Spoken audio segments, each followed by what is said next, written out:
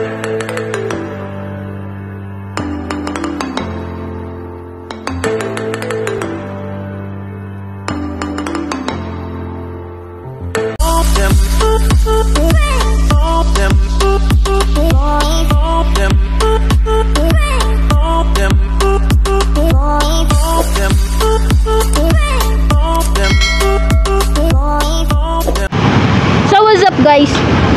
Malapit na tayo sa ating pupuntahan.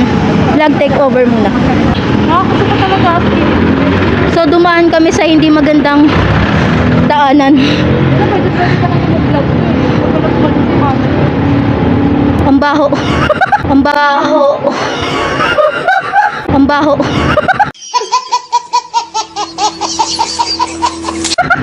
Ang baho.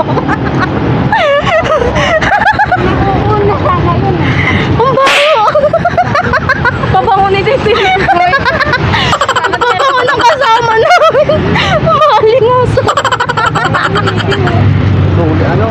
So yun, bye. So what's up guys? Vlog take over from Ate Marin yung may-ari ng channel. So yun, dyan tayo pupunta sa Jollibee, Charis. Kahit mga laki nila, ikaw nila. Ipasok na daw. Siyempre dadaanan lang natin si Sister Jollibee. Dahil wala tayong pera. Dito talaga tayo. Ayan. So, ah, ang gagawin natin dito, mamimili. Mamimili talaga tayo dito. Mamimili tayo ng mga delata tsaka noodles.